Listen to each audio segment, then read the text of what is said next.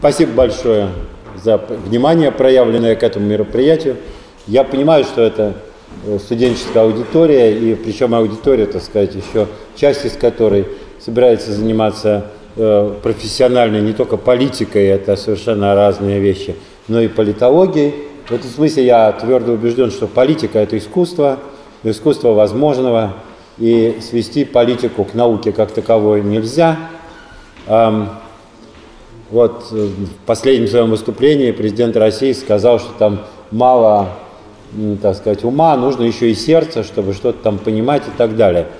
Но вопрос здесь заключается в том, что издревле, с времен, ну, по крайней мере, начала православия на Руси, существовал такой термин «умное чувство». Не умное, а умное.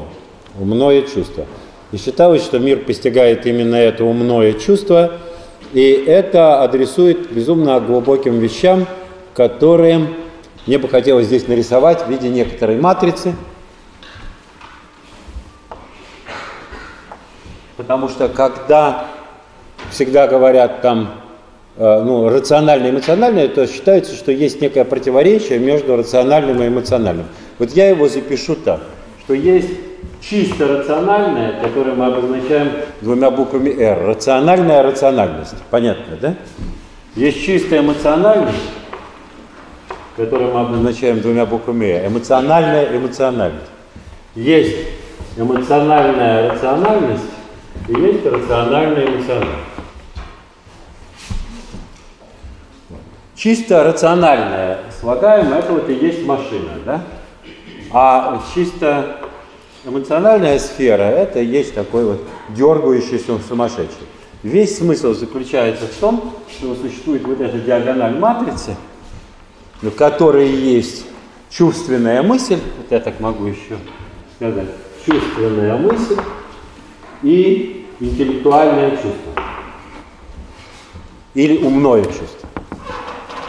Если два полушария, там, правое и левое у мозга, вот так разделены, и тут вот нет некоторой соединяющей вот эту рациональность и эмоциональность дуги, то вот эта диагональ истребляется. В сущности, человек как таковой с этого момента уничтожается.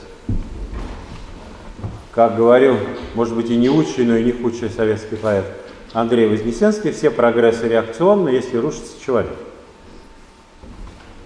В сущности, сейчас да, речь идет о чем-то подобном, и здесь о колоссальной роли России, которая все время говорила об этом умном чувстве, да, то есть, так сказать, интеллектуальном чувстве, да, и вот эм, как бы все сложные отношения между еврейским и русским народом связаны в частности с тем, что еврейский народ, конечно, олицетворяет собой чувственную мысль.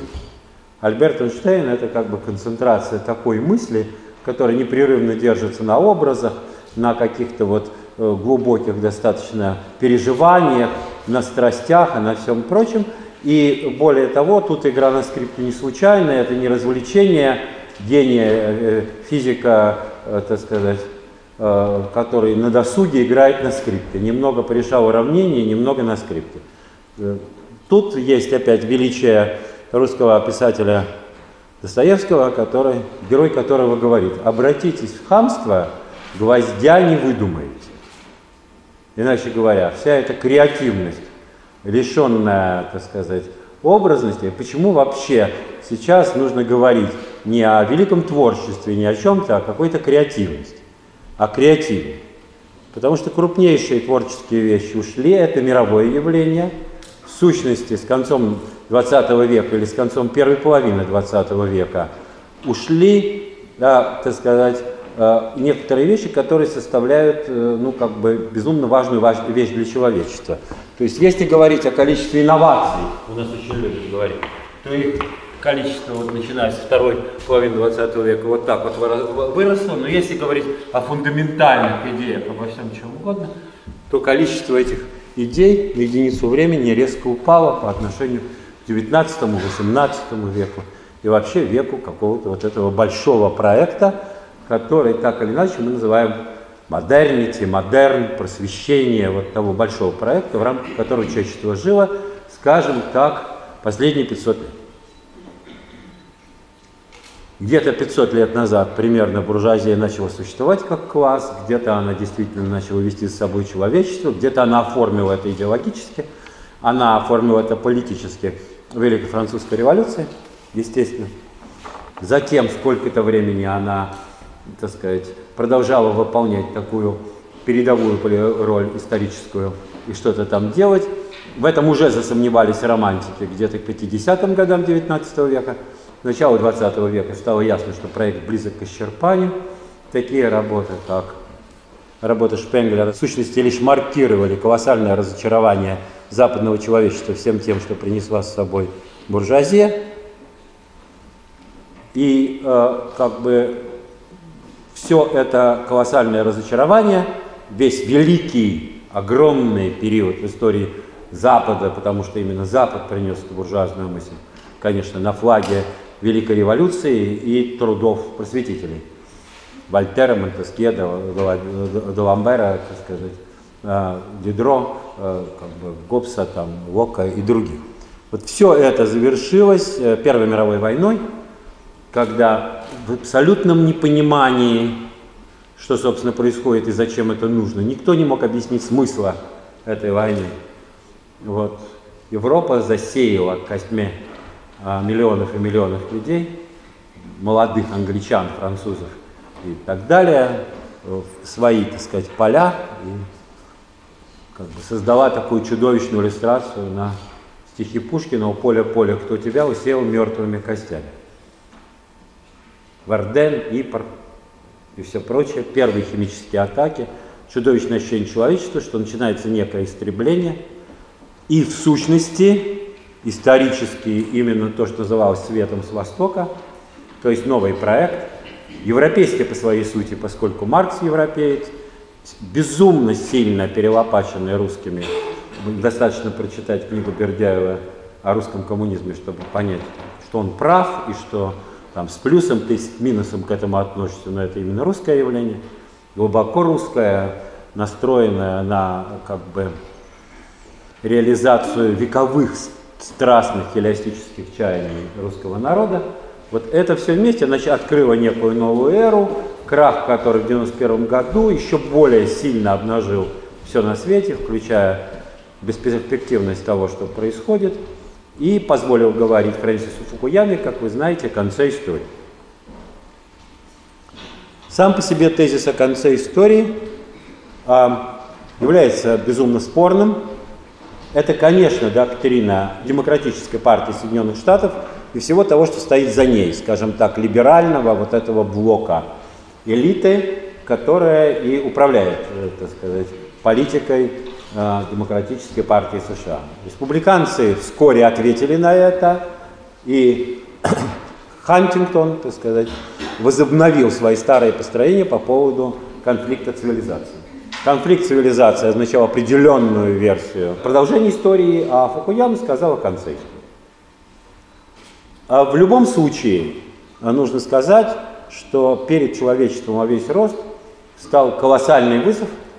Он стал с момента исчерпания вот этого проекта «Модерн». Ответа на этот вызов нет.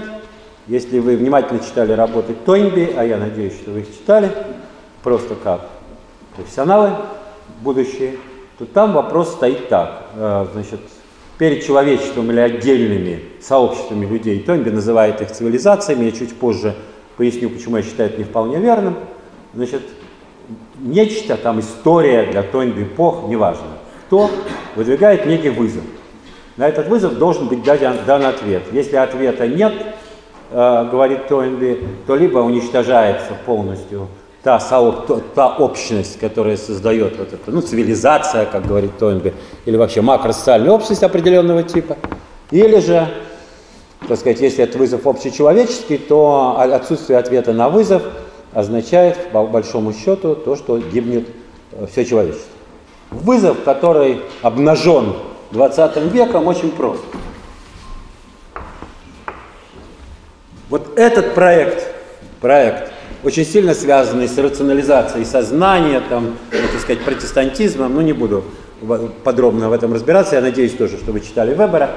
Вот, как бы в этом смысле главное состоит в том, что этот вызов, ну, как бы состоял в том, можно ли развивать технику и другие производительные силы человечества – а, так сказать, не развивая самого человека, оставляя его константы или даже в каком-то смысле допуская некоторое снижение его антропологического, скажем, любого метафизического, экзистенциального, человеческого потенциала, при этом наращивая сильно развитие вот таких производительных сил, или как мы их назовем, техника и все прочее. Западная цивилизация, цивилизация, которая действовала на основе просвещения, или как мы его называем, модернити, это не совсем то же самое, потому что просвещение, по большому счету, отрицает вообще христианство и религиозный компонент, а проект модернити его не отрицает, он просто на определенное место выдвигает это все. Западная цивилизация дала ответ, да, это возможно. Можно, оставив человека константой, исторической, антропологической и прочей, безумно сильно развивать производительные силы. Да, можно. А при этом э, постулат о том, что человека развивать нельзя, исходит из того, что человек изначально является существом греховным, так сказать, поврежденным первородным грехом, стремящимся к злу и так далее. Поэтому единственный способ обеспечить развитие – это заставить работать силой зла. Homo homonym lupus est. Человек человеку волк. Заставьте работать эти силы волчьей грызни, эти силы, которые кидают людей друг на друга э, как бы в жажде добычи, конкуренции, первенства или чего-то еще. Заставьте только это работать, и двинется вперед машина человечества, и человечество станет лучше. Это э, как бы проводилась постоянная параллель между неверно совершенно понятым Дарвином потому что Дарвин этого не говорил. И вот, так сказать, социал-дарвинизмом, то есть тем, что касается человечества как такового. Дарвин говорил, что сила зла, якобы говорил, значит, конкуренция между животными, вот эта война всех против всех в животном мире, джунгли эти, так сказать, э, как бы звериные, они обеспечивают в итоге за счет чьей-то высшей воли внутри этой грызни выход из инферно, вот этой так сказать, животной грызни и в итоге создание человечества. Дарвин этого не говорил. Это говорили неодарвинисты, это говорили Геккель и другие люди, которые доводили до конца идеи Дарвина, но сам Дарвин никогда этого не говорил. Дарвин все время настаивал на инстинкте солидарности, более того, утверждал, что только наличие этой солидарности позволяет каким-то способом э, двигать вперед все, все живое, включая, так сказать, дочеловеческий мир, а также утверждал, что именно народы, в которых инстинкт солидарности наиболее сильно развит, являются историческими народами, преобладают.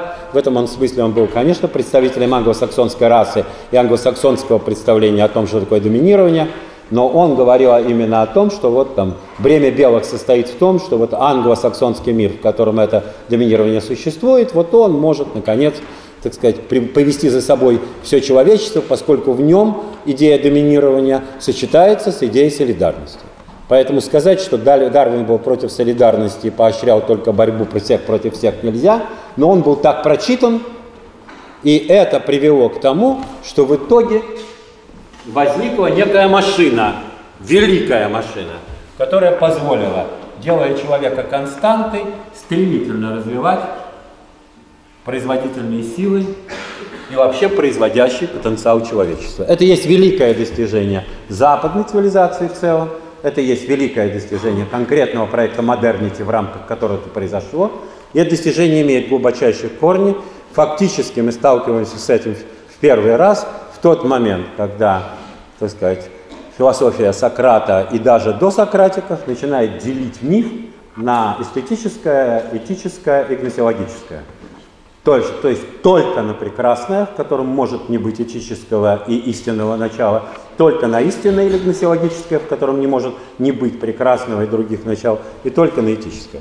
В сущности, вся эпоха мифа на этом кончается, и тут можно сказать, что настолько же, насколько миф оторвал человека от природы и создал его как человека, настолько же философия оторвала человека мифа и создала нового человека, человека науки, человека искусства и человека этики э, в виде, так сказать, вот этой самой философии, в сущности, Сократа и его предшественников. С этого момента по нарастающей началось вот это дробление целостности которая, так сказать, представляла собой красота, добро и истина, на составляющие, а потом это все кончилось колоссальным дроблением рациональной науки, которая и создала большинство из того, что мы имеем. В этом смысле мы не можем, пользуясь плодами современной цивилизации и вообще глядя на нее как на благо, говорить о том, что западная цивилизация в целом и вот этот сам принцип – это сплошное зло, он огромную, огромную лепту принес в то, что мы существуем, что мы понимаем то, что мы понимаем, мы постигаем мир и все прочее. Но на какой-то момент выяснилось, что возникли вот эти ножницы. Они называются антропологическими. Колоссальный потенциал развития человеческой техники, ну и всего, что с ней связано, знаний, информации и всего прочего, оказался связан с таким же или чуть-чуть меньшим потенциалом, собственно, антропологическим, человеческим, внутренним. Ну, наиболее комично простой форме это отражено в фильме «Девять дней одного года», где Смоктуновский, великий советский актер Смоктуновский, так сказать, полемизируя с Баталовым, который является таким идеологически правильным человеком, а Смоктуновский такой инфант террибль, не вполне правильный. Говорит, ты что ты веришь, что это куда-то двигается, милый мой, они сидят в ресторане. Значит, тот, кто изобрел колесо, был гениален, как Эйнштейн, посмотри на эти лица, Лавуазье и другие, а теперь посмотри на этого пятикантропа.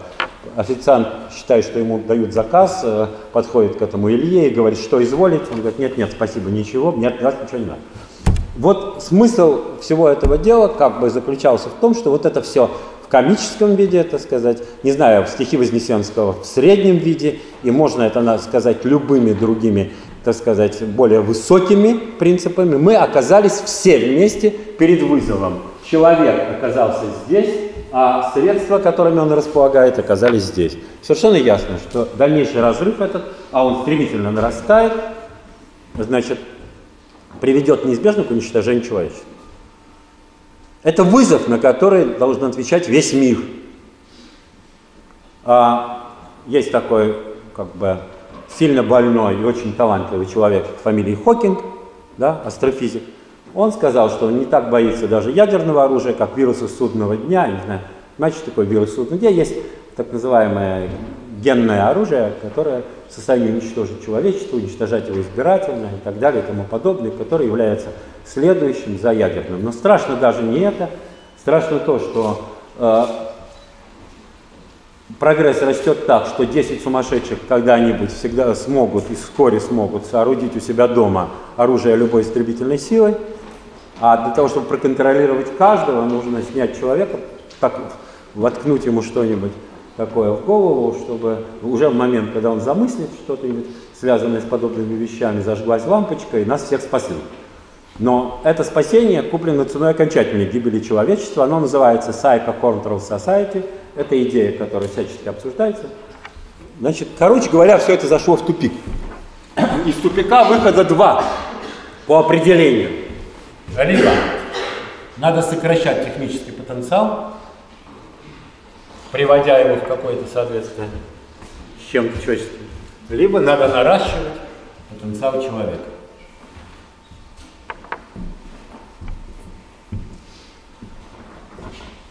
Сокращение э, технологического потенциала или возвращение человека к природе – это очень лакомая идея, ей уже много тысячелетий, там, мы можем начать ее от Гесиода и Золотого века, когда так было хорошо, что ничего не было, да? Такого, что ссорило людей и так далее. Иногда это называется первобытным коммунизмом, etc. Но смысл здесь не в этом, смысл в том, что мы эту идею, даже если бы захотели ее, этот возврат к природе, мы ее реализовать не можем. Современные экологические движения в радикальных вариантах, конечно же, стремятся именно к этому. Фонд дикой природы и так далее. Это не выдумка, это действительно существующие движения, которые хотели бы того, чтобы, так сказать, этот э, технологический потенциал был сокращен, так сказать. Принц Филипп и вправду, это можно проследить по его тезисам, говорит о том, что Человек это самый опасный вирус на Земле, который надо истребить, что он сам хотел бы превратиться в любую бактерию чумы, чтобы истребить человечество, и как бы был прекрасен мир без людей. Но в любом случае все эти разговоры в пользу бедных, говорят в таких случаях. Этого не будет. Вот нет средства сломать эту параболу, по которой это в лучшем случае по параболе, растет, собственно, технические и сопряженные с ним потенциалы, ее сломать невозможно без сокрушительной мировой войны, уничтожения 9 десятков человек, и там, не знаю, что на этих обломках будет, возможно, то же самое, да? Все опять повторится сначала, пелось в одной советской. Значит, вторая идея – это идея ожидания, когда эти ножницы достигнут такого уровня, что их схлопывание, так сказать, уничтожит это человечество, а дальше посмотрим. Недавно, ну как недавно, года четыре назад ко мне приехали представители Запада, которые сказали, ну вот мы считаем вас перспективным, мы хотели бы с вами обсуждать построение мира, вот европейский диалог с вами вести по ту сторону катастрофы. Я говорю, а может быть стоит обсудить, как преодолеть катастрофу, зачем обсуждать построение мира по ту сторону катастрофы? Нет, нет, нет. Все умные люди в Европе отказались уже от этой идеи, все понимают, что катастрофа неизбежна. Посмотрите на физиономии всех этих политиков, Гордон Браун и так далее. Ну, там же все видно, катастрофа будет. А вот обсуждать, как и по другую сторону этой катастрофы устроен будет мир, это было бы интересно. В любом случае, я хочу сказать, что я не высасываю из пальца эту идею, я знаю, что она обсуждается, я вам рассказываю то, что неоднократно слышал на закрытых и достаточно э, как бы репрезентативных семинарах в Европе, в Израиле, в Азии, в Индии, в Китае и так далее. Да? Что было русским ответом на этот вызов и в чем историческая роль русского коммунизма Э, как бы о безупречности которого, пусть говорит, я не знаю, даже не Зюганов, я не знаю, кто Тюлькин, мы все понимаем, что если бы это было безупречно, мы бы по нем жили, во-первых, и во-вторых, мы все видели, что происходит много, а далеко не безупречного, но который охаивать так же глупо, как и огульно восхвалять. Что фундаментально ценного для человечества, так сказать, Э, сотворили русские, приняв коммунистическую идею, что они с ней сделали и что в сущности произошло, и почему человечество это приняло, почему Бернард Шоу, Роман Роман и другие восхваляли, э, так сказать, зарю с Востока, эту новую жизнь, которую приносит с собой Россия и все прочее. Русские ответили на один вопрос, на вопрос о новом гуманизме и новом человеке. То есть они сказали, мы рискуем поднимать человека сюда мы будем сокращать разрыв между вот этой кривой технологической и кривой антропологической. И тем самым мы спасем человечество. Все. Если говорить о том, что такое в сущности, по большому счету, вся коммунистическая идея, то можно ответить на это двояко. С точки зрения собственного определения классиков, коммунизм – это раскрепощение и пробуждение в каждом человеке высших творческих способностей. Все. Будем ли мы читать Ленина, Маркса и кого угодно еще, никакого другого определения коммунизма просто не существует. Все остальное это средство раскрепощения и пробуждения высших творческих способностей в каждом А если говорить с точки зрения того, что можно эту идею разделять или не разделять, ну почему ее принял мир, что он в ней уловил, он уловил в ней шанс на спасение за счет того, что впервые именно в России заговорили о том, что вот это антропологическое кривая может быть выведена из понятия этого параллельной прямой в какое-то такое состояние, чтобы между технологией и антропологией не возникло катастрофического разрыва или, как его говорят, его называют ножницы. Можно отвечать на эту идею как угодно еще. Можно говорить, э, что эта идея коммунистическая порочная, и к этому есть одни основания. Можно, говорить, наоборот, защищать и говорить, что она замечательная, к этому есть другие основания.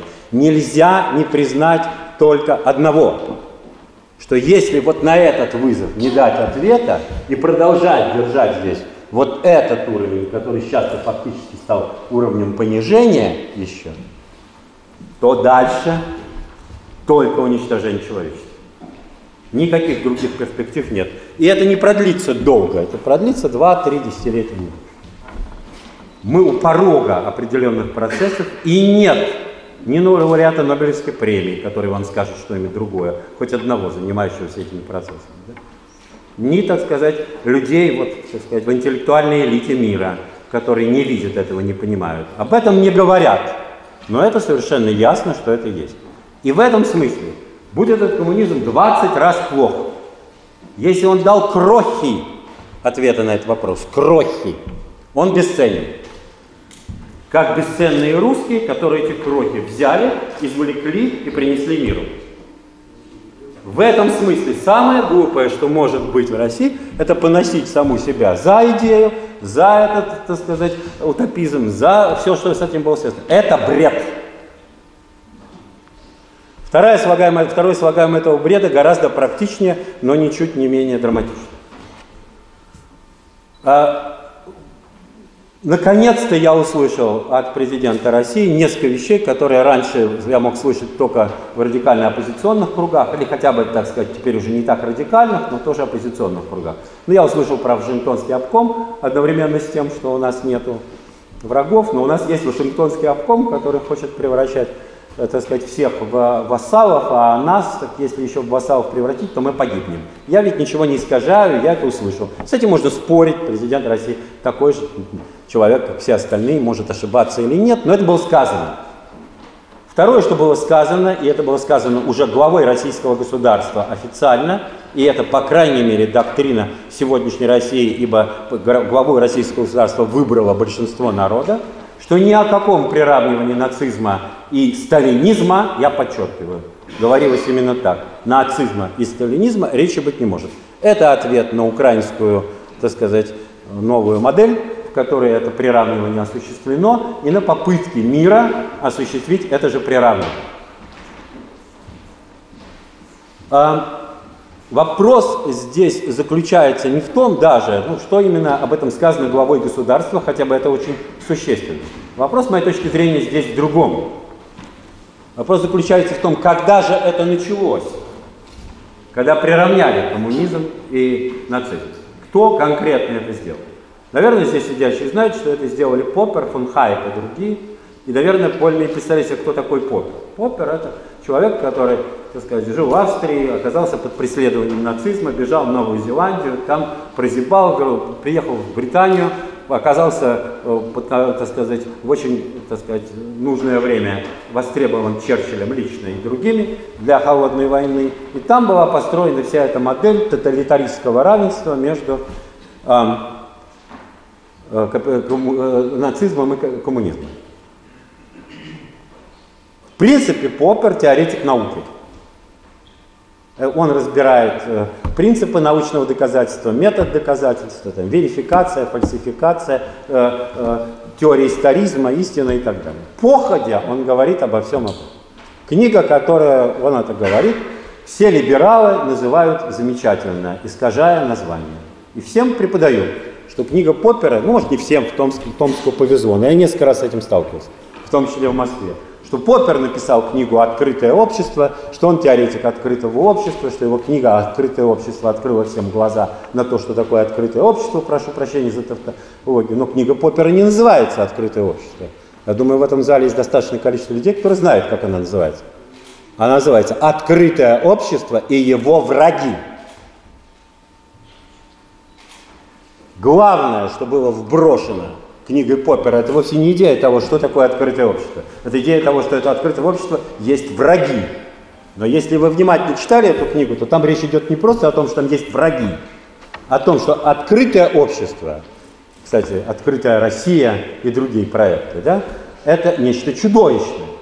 Открытое общество не является обществом, в котором все ездят по миру и смотрят, что происходит в Италии или где-то еще. Открытое общество не является обществом, где нет цензуры и так далее.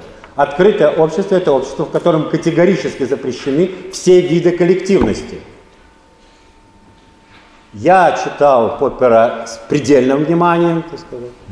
Для этого даже уехал в деревню, чтобы меня ничто не отвлекало. Делал достаточно долго, у меня лежат конспекты соответствующие. Я сейчас как раз с ними знакомился, потому что я все-таки хочу написать книгу на эту тему. Только с цитатами. Традиционная семья, это враг открытого общества, ибо она создает коллективность. Любые общины, любые, так сказать, этнические сообщества. В предисловии к русскому изданию Поппер пишет, дорогие русские друзья, вы должны помнить, что я не делаю никаких исключений и не говорю не только о вас. Я лично считаю, что самая преступная форма войны с открытым обществом – это сионизм. Это я цитирую Поппера, не себя. Значит, смысл заключается в том, что то общество, которое описывает Поппер, это общество-монстр, в котором разрушается и запрещается любая степень коллективности. Более того, это общество, и это опять я цитирую Поппера, я провел достаточно времени для того, чтобы это выучить чуть не наизусть, в котором единственной скрепой является враг. Никакие, ничто не скрепляет как открытое общество, кроме внешнего врага, говорит Поппер. И это логично. Потому что если вы не допускаете никаких коллективностей вообще, а только коллективность скрепляет общество изнутри, значит, единственное, а скреплять его надо, то извне вы его можете скрепить только врагом. Значит, изнутри никаких коллективностей, каша такая э, супериндивидуалистическая, которая как-то там роится вне всего, что знало человечество. А снаружи все время разговор. Нашу кашу хотят уничтожить, нашу кашу хотят съесть, нас хотят погубить, наша замечательная каша. Собирайтесь все против тех, кто хотят погубить эту кашу. Вот что такое эта модель. Вот модель, в пределах которой был приравнен сталинизм и нацизм. Теперь есть великие работы, в которых обсуждается специфика сталинизма и нацизма. Я не буду их все цитировать, но как бы больше всего меня впечатлили модели там, в частности, в которых говорится. Обратите внимание на одну реальную,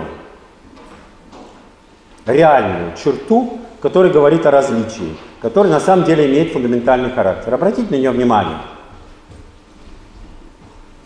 На разницу семантики, семиологии, интонации, лингвистики двух лидеров – Э, лидера, так сказать, э, нацистского Гитлера и лидера коммунистического Сталина. Сталин непрерывно стремится говорить как можно более спокойно и методом перечисления. Во-первых, во-вторых, в-третьих, в-четвертых. Он все время цитирует, копирует отца, патриарха, включая библейского, скрижали и предельную рациональность тона. Гитлер непрерывно камлает. Единственное, что держит речь Гитлера, это вся система шаманистских технологий. В этом смысле, и это говорили немцы, тот же Беньямин, Вальтер Беньямин и другие. Гитлер является матерью нации, а не отцом. Он постоянно апеллирует шаманско-матриархальным типам существования. А отцовскую логику, охлажденную и спокойную, как раз демонстрирует Сталин. Я не буду спорить о том, правильно или нет, потому что просто очевидно, что это две разные лингвистики. Можно послушать речь Гитлера и послушать речь Сталина и понять, что они разные.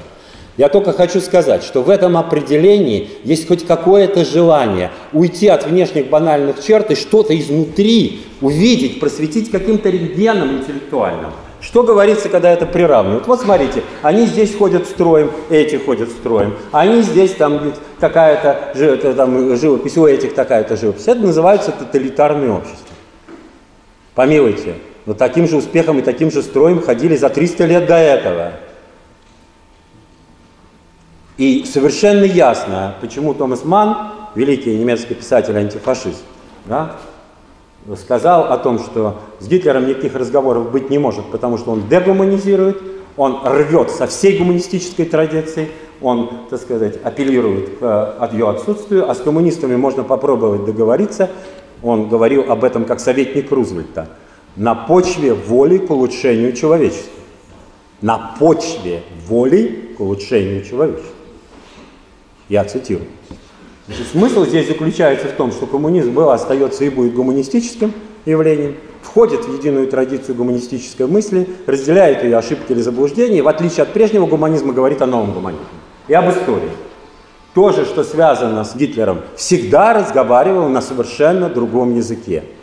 Одна из лучших работ, э, так сказать, о Ницше, конечно, совершена Хайдегером в ряде его трудов, он внимательно исследовал Ницше, и он показал, что Ницше это и есть смерть метафизики вообще, э, смерть европейской метафизики, идущей от Платона прежде всего. И поскольку Ницше понимает, что без метафизики речи быть не может, то о, о чем говорить. То это подмена всех ранних видов метафизики метафизикой воли к власти.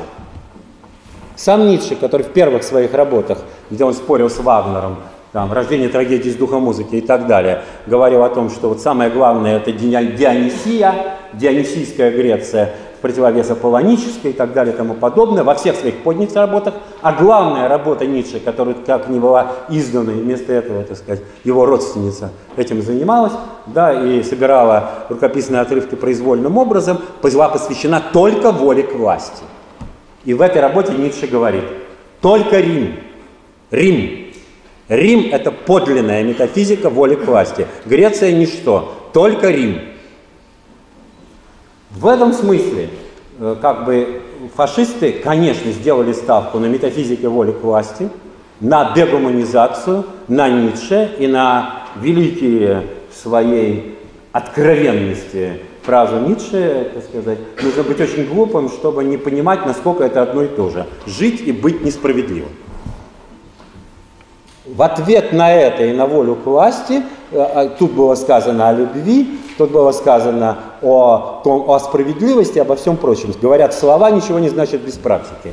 Слова очень много значат. В противном случае не надо, так сказать, противопоставить практику Великой Французской революции свободе, равенству и братству, написанных на скрижалях. И так можно далеко пойти. Надо э, практику э, генерала Гранта, расстреливавшего, так сказать, мирных жителей, так сказать, еще с близкого расстояния, противопоставить идеалам Линкольна и идеалам свободы э, и так далее. Это плохая идея противопоставлять практику идеалам. Идеалы трудно реализуются в жизни, они всегда противоречат в реальности тому, как они есть, но они значимы, потому что человечество никакого пути ничего не сделает.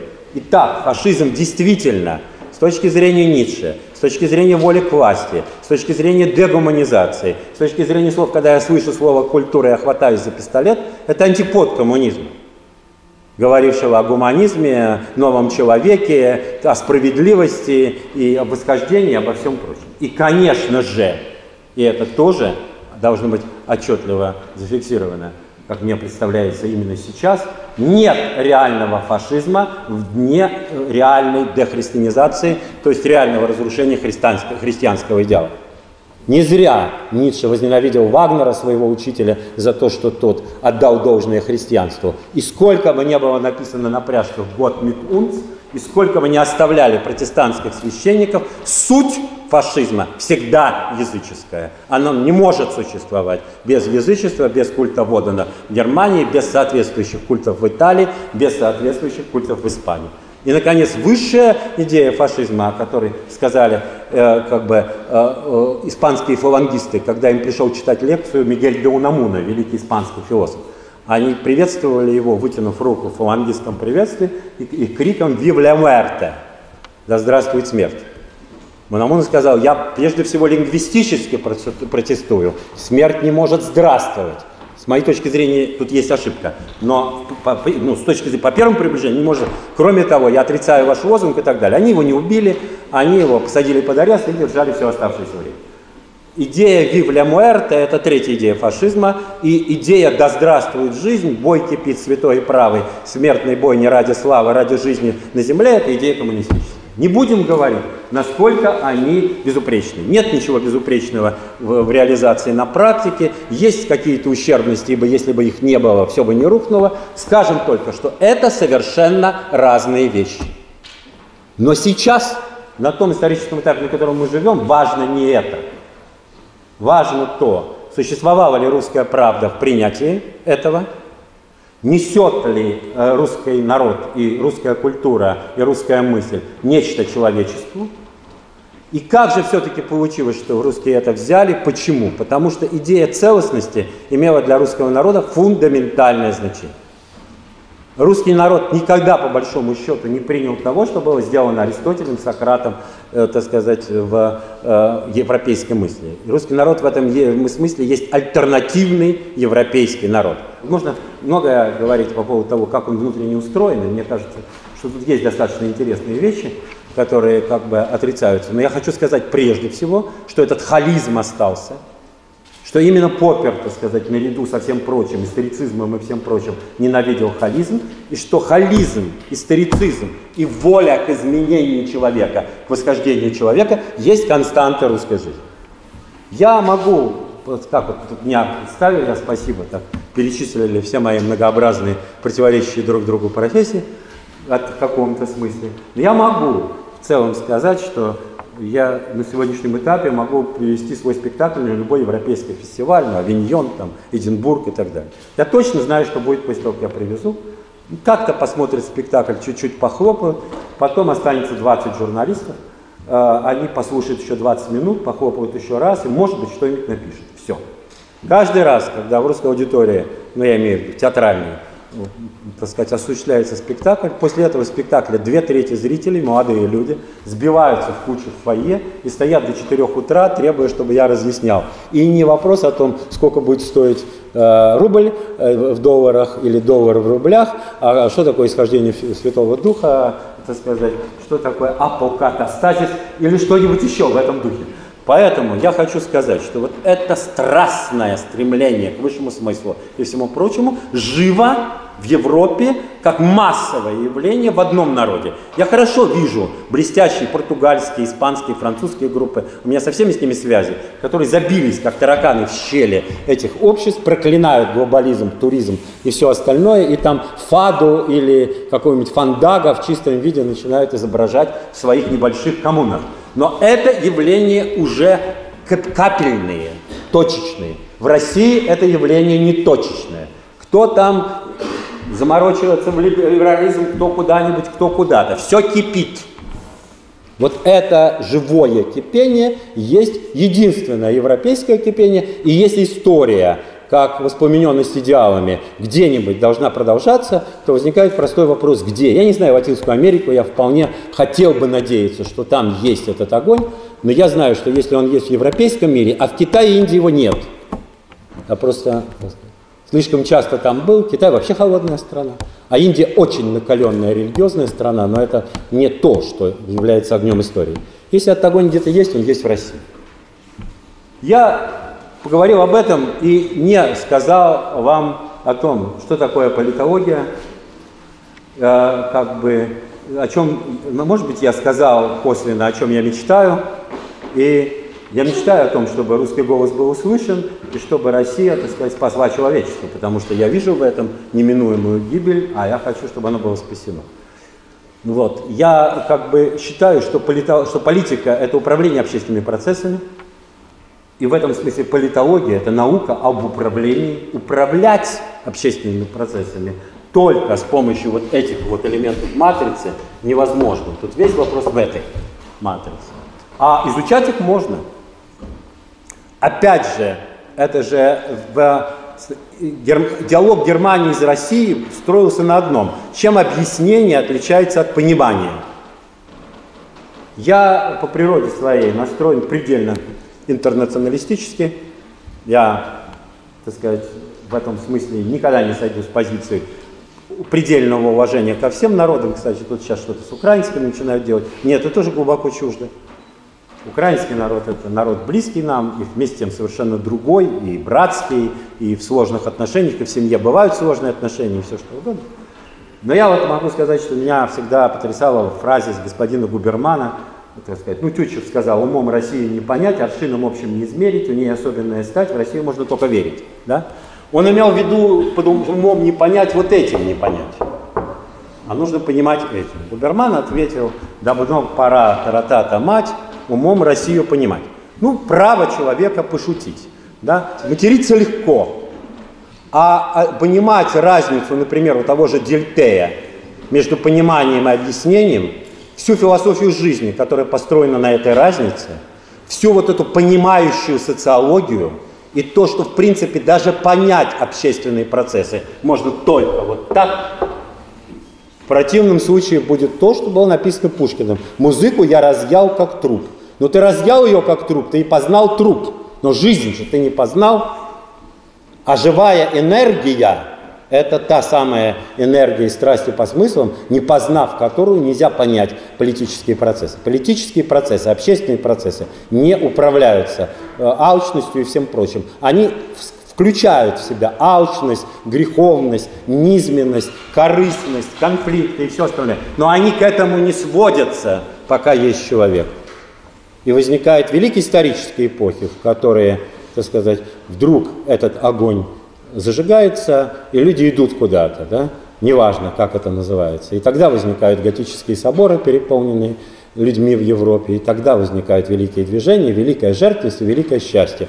Эти эпохи Россия переживала, скоро будет, так сказать, 9 а, мая, и Луи Арагон по этому поводу, говоря о народе, говорил, но ты, Христос, ты все апостолы святые, и то, что значишь ты в день Пасхи, мы поймем.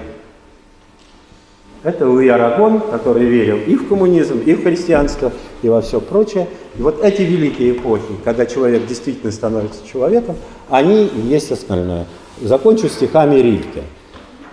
«Мы только голос, кем воспета даль, где сердце всех вещей единый звон. Его удар внутри нас разделен на ровный пульс. Безмерная печать, печаль и радость сердца велики для нас, и мы от них бежим. И каждый час мы только голос. Но настанет миг, на сердце звон негаданно возник, и мы весь крик. И лишь тогда мы суть, судьба и лик. Я сознательно не цитирую здесь русских поэтов, я цитирую европейских поэтов, потому что речь идет о том, что говорит весь мир. И как-то у меня была встреча с американцами, на которой я вдруг стал по-английски читать стихи Уолта Уитмана и Эдгара По. Да? Они с изумлением уткнулись и сказали, а мы уже не помним всего этого, мы не знаем. Да? И дальше второй сказал, что вытворяют русские. Ну вот они вытворяют то, что могут. Я ни разу не сказал о кремлевском проекте, о, так сказать, о чем еще? О пропаганде, о Путине. Да? И даже, как мне кажется, никого здесь не оплевал с близкого расстояния. Я говорю о том, что действительно представляет для меня некий человеческий интерес. Мне кажется, что если он представляет для меня интерес, и я делюсь с ним откровенно, то и для вас в этом должно быть что-то интересное. А если у вас есть любые самые такие жестко прагматические вопросы, то я с радостью, без всякой обиды на них отвечу, потому что на то и встреча, чтобы отвечать, на то и волк, чтобы заяц не жирел. Пожалуйста. Спасибо.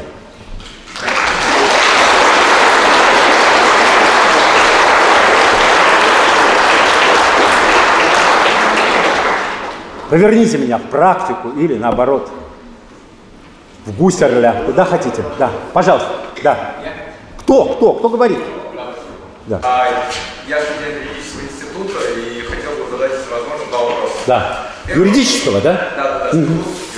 Да. А, первый вопрос следующий характер. Мне интересно ваше отношение к таким субъектам федерации, как национальные республики. Считаете ли вы, что они как-то могут угрожать общей целостности государства? Да, такой, да, да, понятно, да. Первый вопрос был, да. А второй вопрос. А, насколько мне известно, вы часто подвергаетесь критике со стороны такого интернет-ресурса, как «Спутник» и «Погром». Да. Собственно, мне ну, Хорошо. А я могу вам задать в ответ один вопрос как юристу, особенно если вы тут не один. Можно я вам что-то прочитаю? Я отвечу сейчас, отвечу твердо. Вот вам как юристу. Скажите, пожалуйста, главное условие устранения от власти президента Украины в том, что э, ему выдвигается подозрение в совершении государственной измены или другого преступления. Конституция Украины не, уч, не уточняет, какого именно. Она прямо указывает, что к этому выводу и подозрению должны прийти не менее 226 депутатов Рады, всего там их 450, которые только и могут специальным обращением еще только поставить вопрос об импичменте. Никакого обращения или подозрения выдвинуто не было, ни устного, ни письменного. Второе условие – создание парламентской комиссии, в которую должен войти специально назначенный прокурор. Выводы и предложения рассматриваются на заседании Рады. Ни комиссии, ни прокурора не было. Дальше существует некое правило.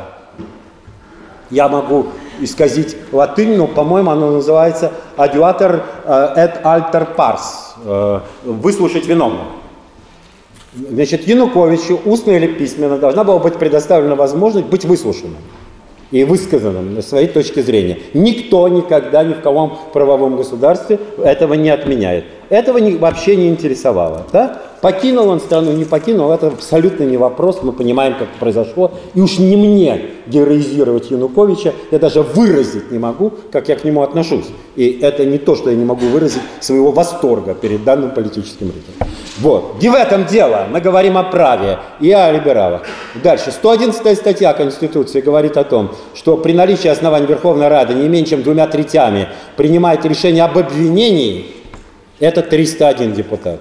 После того, э, при этом нужно заключение Верховного суда, которого не было, и Конституционного, которого не было. А окончательное решение об отторжении от власти она принимает 338 голосами депутатов Рады.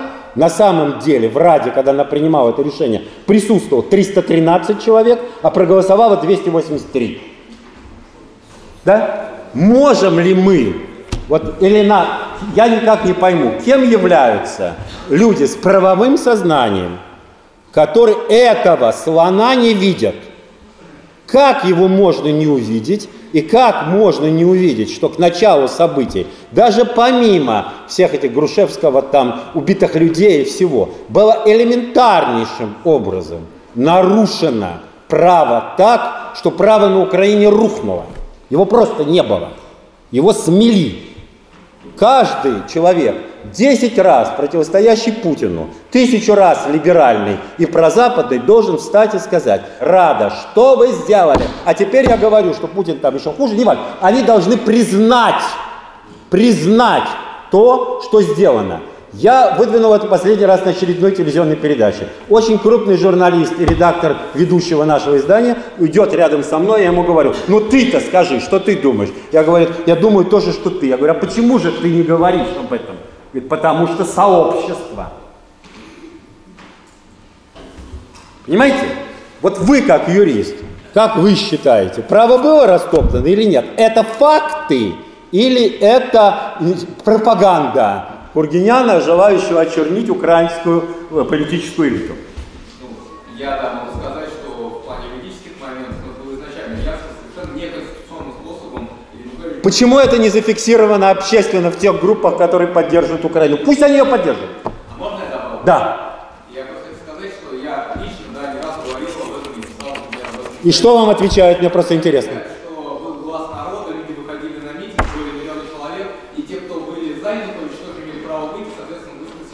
То есть э, единственный вопрос, что гражданская война началась позже, чем должна была начаться. Когда они мне говорили, там, предположим, этот Ремчуков, что это, это на самом деле это революция, я говорю, ну так значит гражданская война. Вы можете назвать мне хоть одну революцию, после которой не было гражданской войны? А значит, поскольку это революция антирусская и так далее и тому подобное, то в любом случае на разрушенном праве надо было что-то делать. Хорошо это было, нехорошо, но мы можем хотя бы создать интеллигентный контекст. Возможно, уважение к мысли, которая, предположим, чужда, и к носителю этой мысли.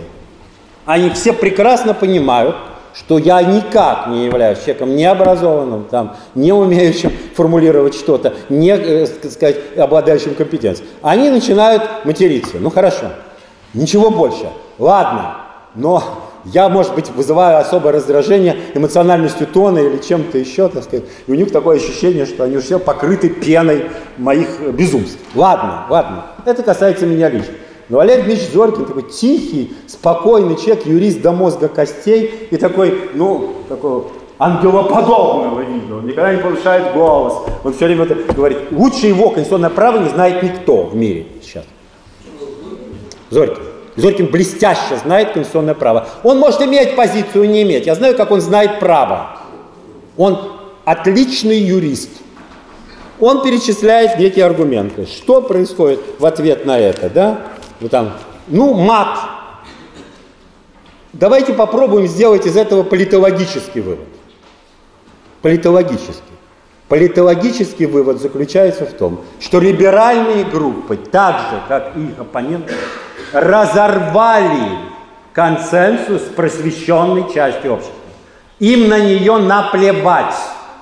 Потому что они понимают, что этой просвещенной части либо нет вообще, либо ее значение равно нулю. Материться можно. Не в смысле материться, матерились все. Про некоторых представителей, так сказать, интеллигенции говорили, она разговаривает матом. Да? Не в этом дело. Дело заключается в том, что все говорится на вопиюще неинтеллектуальном языке. Почему? Понятно, что просвещенная часть общества этого не примет. Значит, с ней разорвали. Все понимают, что цена ей копейка базарный день.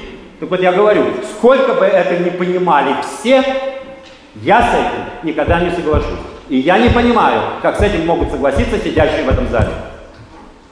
Потому что это вопрос ключевой политики и судьбы России. Нельзя с этим согласиться. А это очень просто сказать, мы не согласны. Нужно действовать определенным способом. И именно поэтому я создал движение «Суть времени», именно поэтому я веду себя определенным образом общественно-политически, потому что я не соглашусь с тем, что, так сказать, э, русская интеллигенция и просвещенные группы перестанут функционировать. Я с этим не соглашусь. Во-первых, я знаю, что будет, когда они перестанут функционировать. Да? Это будет ужас. Во-вторых, я считаю, что никуда мы из этого тупика не выйдем. В-третьих, я считаю, что наступило время интеллектуальных войн, которые можно только проиграть без этого. И так далее, и тому подобное. Теперь я перехожу к вашим вопросам. Первый, который говорите, спутника погром. Спутника погром, ну, а второй вот вы... Э, а, национальные республики. Да. Конечно, национальные республики всегда опасны, потому что они национальные и все прочее. Но есть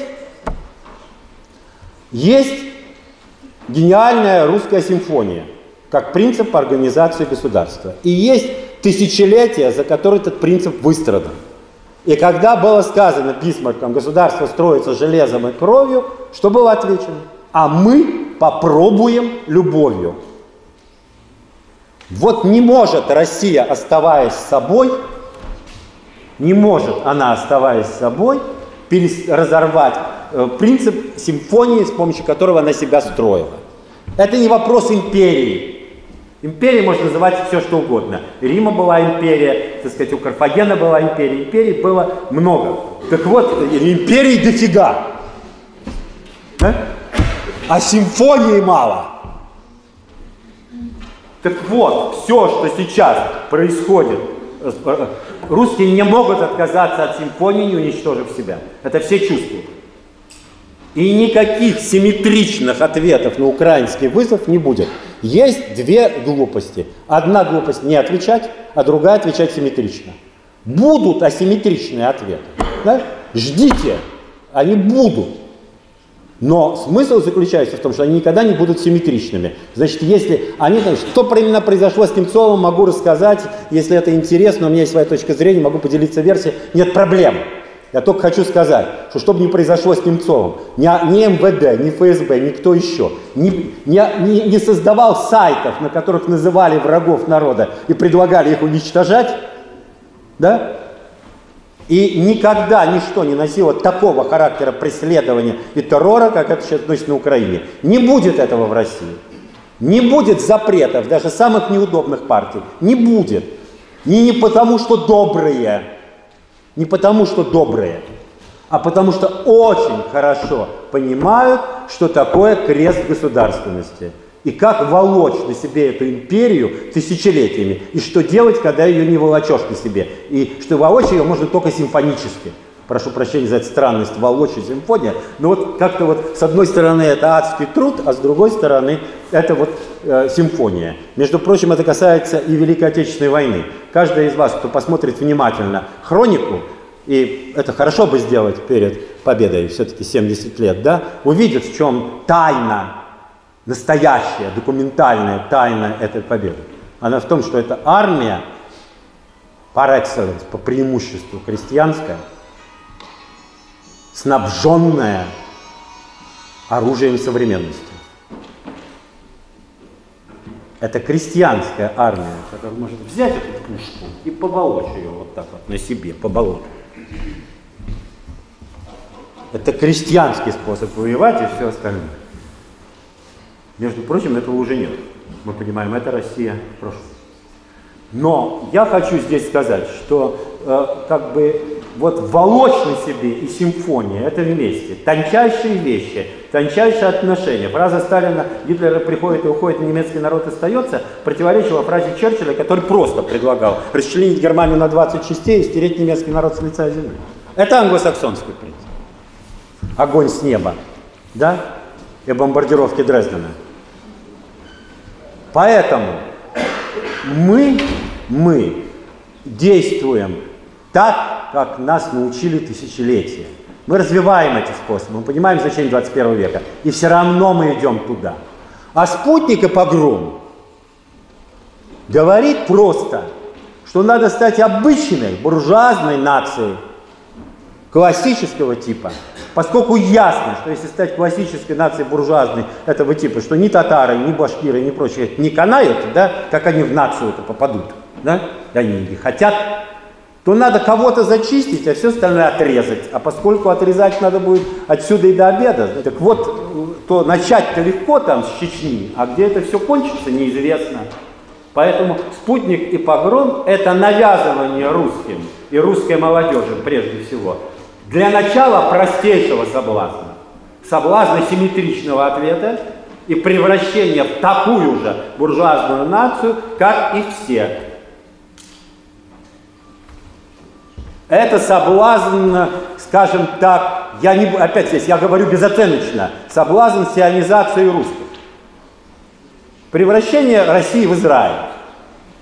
А все дело как раз заключается в том, что сионизм – это заявление о том, что еврейский народ превратится в буржуазную еврейскую нацию. Вот он превратился. Много получил?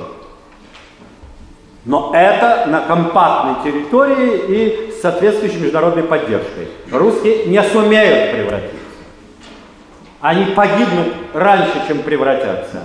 И такой возможности просто не существует. Не говоря о том, что так убить свою государственную душу можно только убив все. Есть другие принципы, другие подходы. И поэтому принцип русской симфонии и национальной республики как его часть очень важны. Противоречит ли это, например, фразе тостом Сталина за русский народ, который Сталин произносил, начиная с 30-х годов? Кто-нибудь вам скажет, что первый раз в 45-м, это неправда. Первый раз это был в 33-м, по-моему, или 34-м. Вопрос в том, что вот русский народ, это солнце, вокруг которого, как планеты, вращаются все остальные народы, государства, державы, империи, цивилизации. Ликвидировать планетарную систему, оставив Солнце, глупость. Не понять, что есть Солнце, такая же глупость. И это есть формула русского гимна. Союз нерушимой республик свободных сплотила навеки Великая Русь. Это есть высший державообразующий принцип. Когда они расчленяют его на крик о том, что либо все должны быть равны, а равными в чем-то можно быть. Равными можно быть в симфонии. Равными можно быть в планетарной системе. В противном случае, что такое равенство, вообще непонятно. Это, как говорил Антуан де Сент-Экзюпери, это равенство камней, разбросанных по полю. Это не равенство собора. Значит, оно тоже невозможно. Теперь вторая часть намного более омерзительна, чем первая. Да? В своей статье «День отмщения» Просвирнин говорит, что 22 июня 1941 года было днем отмщения, когда русские, вошедшие в СС, вместе с самим СС стали мстить красной сволочи. Это формула Великой Отечественной войны.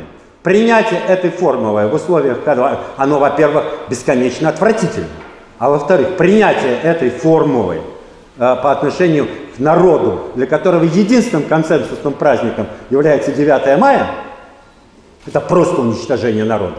И в-третьих, если принять что-то подобное и признать 70 с лишним лет советской истории, то вот такой черный герой, красной сволочи и всего остального, то это означает только одно.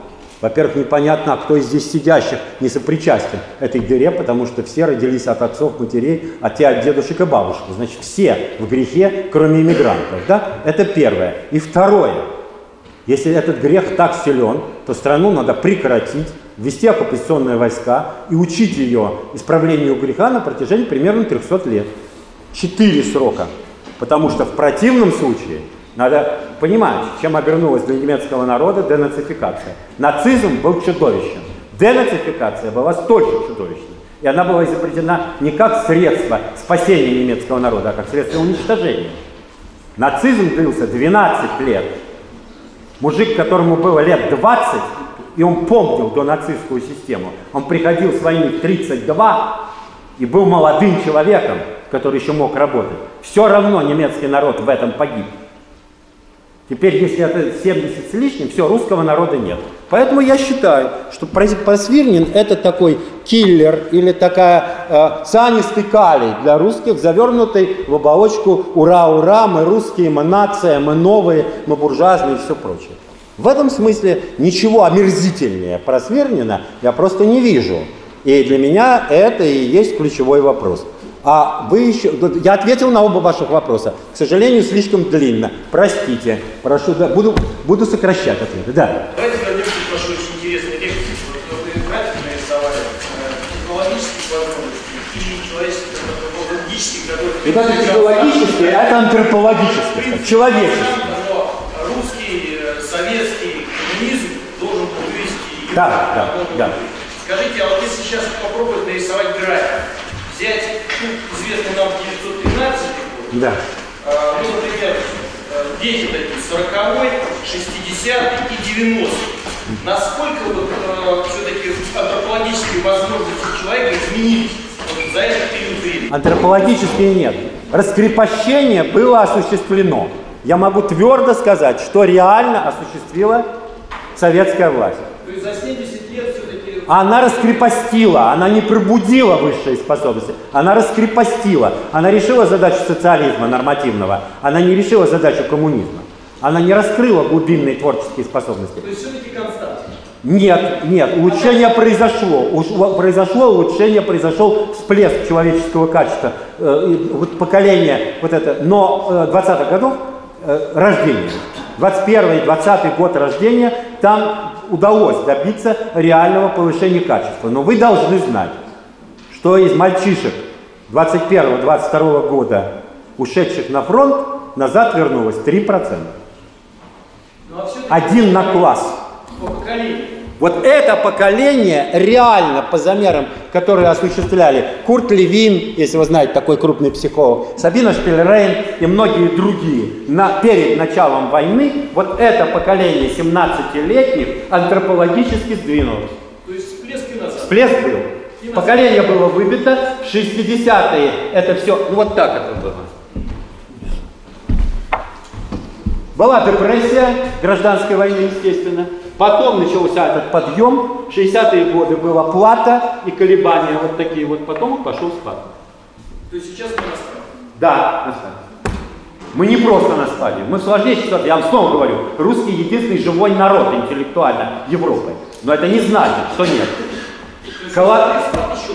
Я сижу, в, в, прихожу, не буду с вами не считаю нужен, все, университеты, Томск, университетский город, я не буду этим заниматься. Я прихожу в менее университетский город, где сидит молодежь, заинтересованная сложным. Я просто говорить не умею, понимаете? И не хочу. Значит, я командовал какими-то вещами, но это были не лучшие дни в моей жизни. И совсем не лучшим образом я это делал, наверное. Хотя что-то удавалось. Я был советником в горячих точках. Так вот, так вот, Значит, сидит аудитория, которая хочет сложности, которая слушает сложное, которая даже что-нибудь там говорит. Дальше я говорю, сейчас я провожу простейший тест. Я читаю стихотворение великого русского поэта и задаю один вопрос. Да? Стихотворение звучит так, оно школьное. А вслед за ним, как бури шум, другой от нас умчался гений, другой властитель наших дум, исчез оплаканный свободой, оставив миру свой венец. Шуми, волнуйся непогодой, он был о море твой певец, Твой облик был на нем означен, он духом создан был твоим, как ты глубок, могуч и мрачен, как ты ничем не укротим. Это стихотворение к морю. Прощай, свободная стихия Пушкина. Дальше я спрашиваю аудиторию, замечательных людей, страшно рвущихся к мысли. Я говорю, кто этот другой гений? Исчез оплаканный свободой, оставив миру свой венец. Кого имел в виду Александр Сергеевич Пушкин? Из ста рук поднимается для ответа одна. Байрона знает один.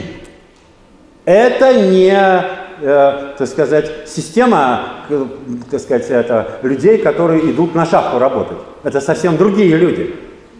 И надо понимать, что это своеобразная культурная катастрофа, в частности, отчуждение от своей культуры. Вопрос заключается в том, можно ли, отчуждаясь от культуры, что-то делать. Теперь я могу здесь сказать, что это происходит ну, э, гораздо более интенсивно и гораздо более массово, чем это может показаться.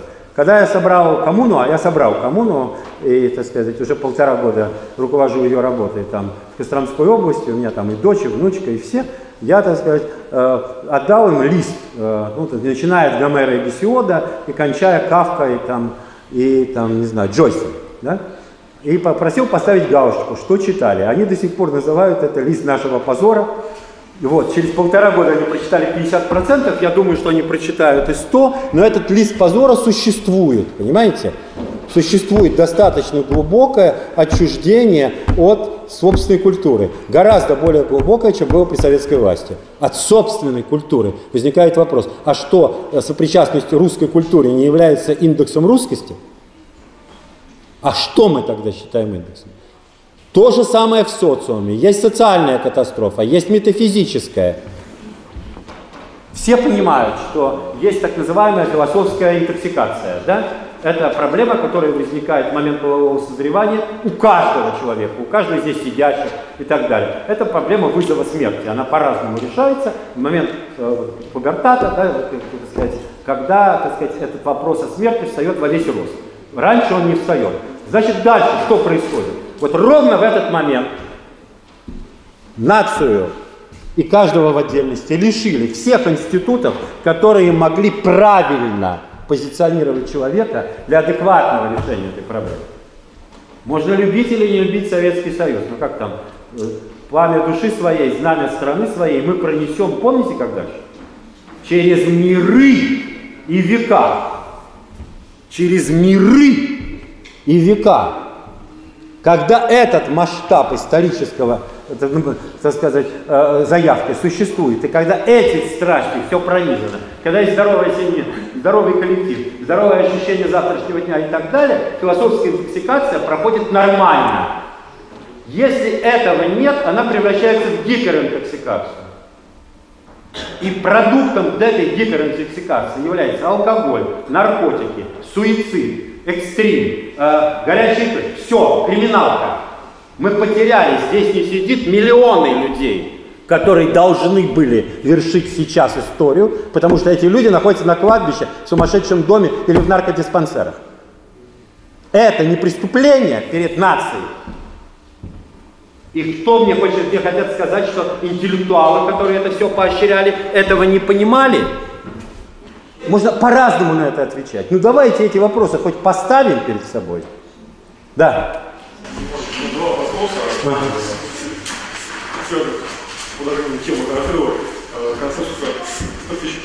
Посвященной части. Э, один из вызовов со стороны высокого профессионального сообщества, которое, э, которое развивает идеи приравнивания нацизма и сталинизма через практики мемориальной культуры и денацификации последующей. А, второй вызов связан с деятельностью дилетантского сообщества, которое занимается дилетантским анализом Конституции, воплощает и ее. А, какие, э, какова будет реакция нашего, я, я надеюсь, высокопрофессионального сообщества на эти два вызова? И третий вопрос концептуально связан с тем, что вы э, сказали, что э, приближение к коммунизму возможно не только через поддержку консервативного капитализма э, в его противоречии с мужчинным капитализмом. Ну, Хорошо, я отвечу. Я просто завершая вам ответ, я хочу сказать.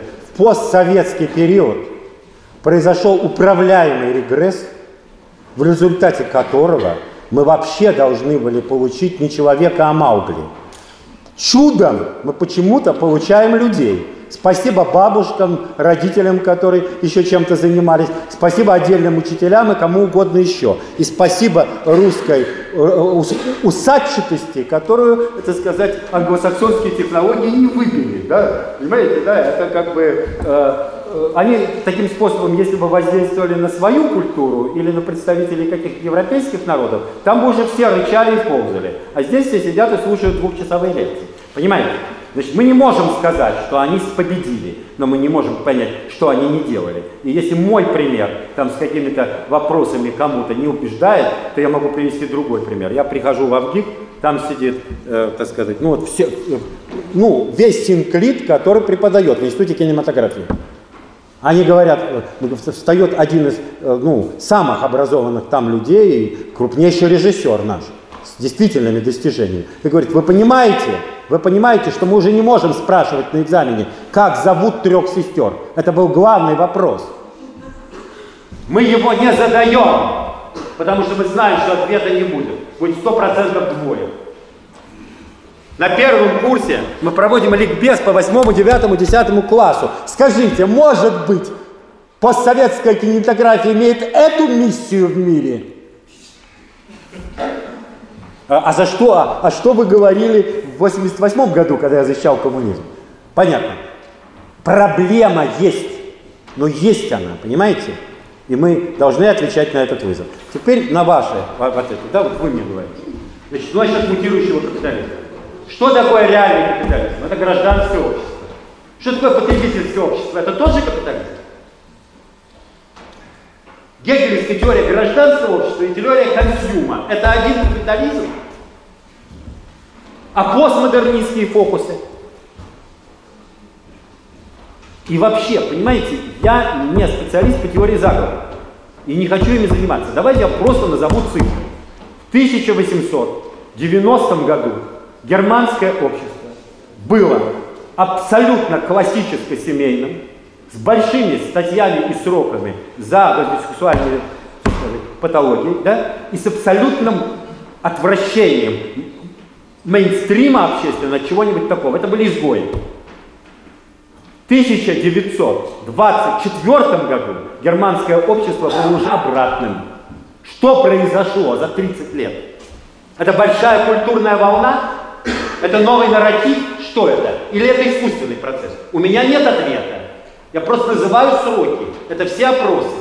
В 1950 году американцы, а, там была война, Веймар и так далее, э, синдром поражения. У американцев не было никакого поражения. В 1950 году американская семья еще была более классична, чем немецкая в 1890 в 1950 В 1970 она была сломана к черту полностью. Я спрашиваю, ну осталось, конечно, что-то, иначе бы страны не было. Но слом мейнстрима произошел радикально. Я спрашиваю специалистов, это может назвать большим нарративом?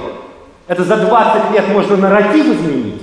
Или все-таки есть субъект, который это осуществляет? Вопрос есть, так что? Это постмодернистское общество надо называть тоже капиталистическим. И гражданское общество приравнять к консюму, а консюм к постмодернизму? Конечно, это цепь мутаций. Конечно, это цепь мутаций. И в этом смысле, с момента, когда рухнул коммунизм, в 1991 или в конце 80-х, в начале к 91 году, когда он рухнул полностью, что произошло?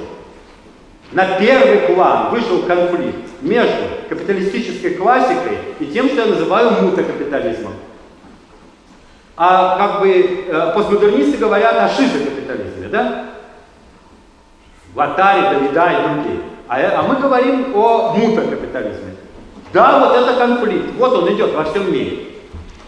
А что такое, э, так сказать, э, нынешняя война партий, как не э, улом консенсуса проблем, проекта модерности?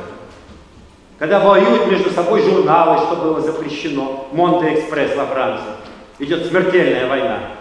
Когда воюют когда Авада и Ликут смотрят друг на друга чуть ли не прорезь оптического прицела, когда, э, так сказать, демократическая партия, республиканская партия США воюют также. Это кризис рамки консенсуса. А что было консенсусом? Модернити. Значит, модернити кончено.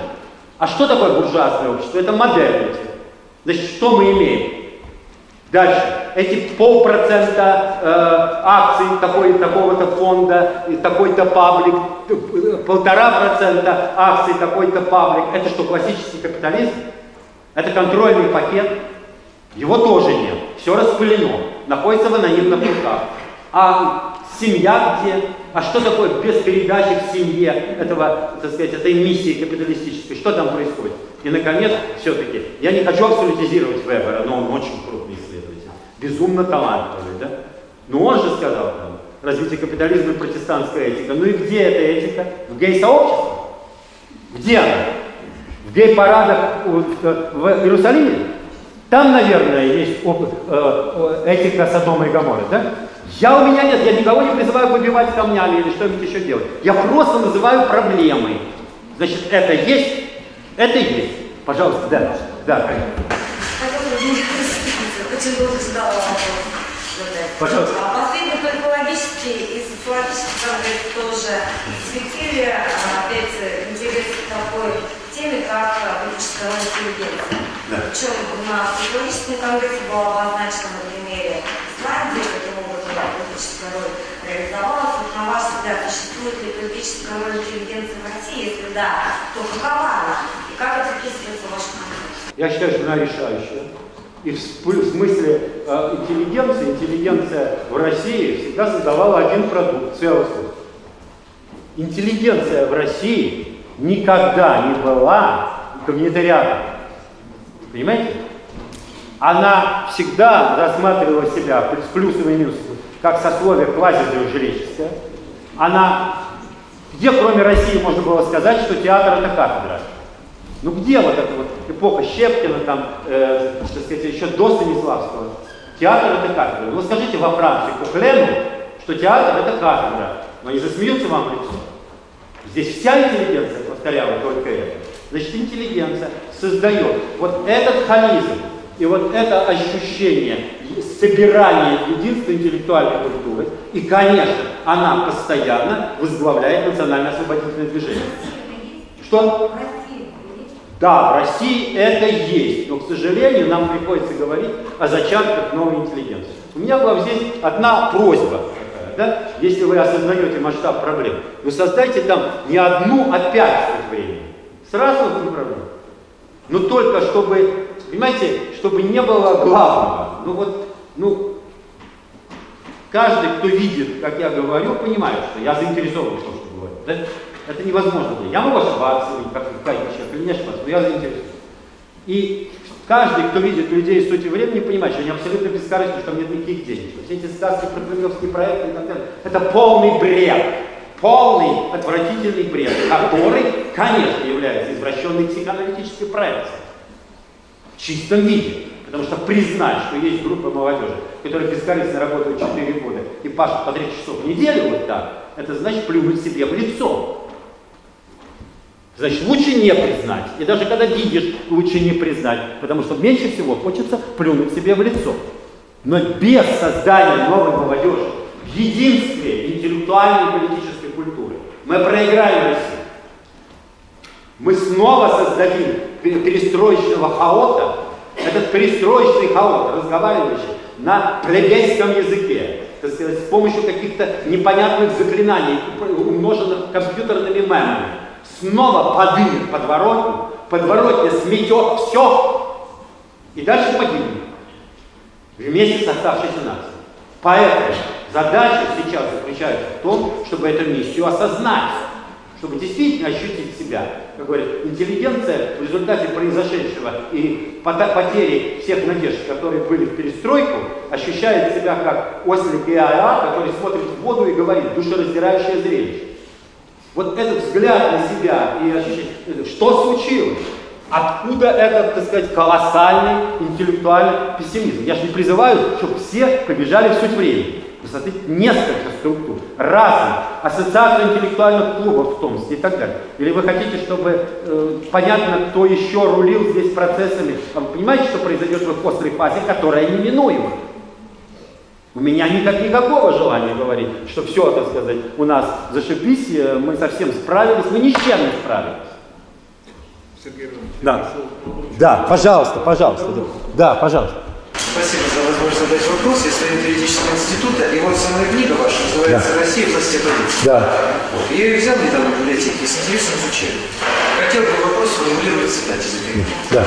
Небольшая Согласно статье Ракитова, вы ссылаетесь на статью в журнале «Вопрос философии», а, целью ельцинских реформ является постиндустриальное общество. Ну, наконец, наконец-то сказано что-то серьезное, скрыта стратегия. Наконец-то нам объяснили, что не нужны ни рынок, ни демократия. Добиваются генетического изменения, ибо постиндустриальное общество несовместимо с русским культурным ядром. Я внутренне вот с этой фразой, безусловно, как сторонник ваших соглашаюсь. Но мне хотелось бы, чтобы вы дали вот здесь определенное толкование или разъяснение вообще, что подразумевается под этой фразой. Почему постиндустриальное общество с нашим менталитетом, с нашим культурным ядром ну, совсем не сочетается? И почему, ну и, наверное, те... Нет, да, пожалуйста, я отвечу. Есть следствие. Постиндустриальное общество не может одновременно с этим не быть постмодернистом. Иначе оно должно стать сверхиндустриальным. Будущее России как раз есть сверхмодерность, сверхиндустриальность, но общество не может быть, э, быть постиндустриальным и не быть постмодернистским, потому что для постиндустриальных технологий нужен постмодернистский человек. Постиндустриализм по Тофлеру не мыслим при наличии целостного традиционного, э, так сказать, устойчивого человека. Он просто не может сочетаться с этим принципом существования. Значит, для, а русский человек хочет быть целостным. И он не хочет, так сказать, чтобы наоборот, как пелось в одной песне. Он не хочет диссоциировать себя под этот стереотип. Кроме того, я же здесь говорю не от себя даже. Я цитирую Ракитова. Ракитов что говорит? Он говорит, что нужно сменить социокультурные коды, находящиеся в ядре. Социокультурные коды, находящиеся в ядре. Интеллигенция в той эпохе слушала это, и ее, я не скажу, рука не тянулась к Макарову, ее уста не тянулись к тому, чтобы ответить. Вы понимаете, что сказано или нет? Что такое изменить социокультурные коды в ядре? Может, я в ядре ваших клеток тоже изменю сейчас соци... Э, э, друг генетические коды? А это же такие же коды. Вы компьютерщики, вы понимаете, что значит стереть и сменить коды в программе? Вы понимаете, о чем он говорит?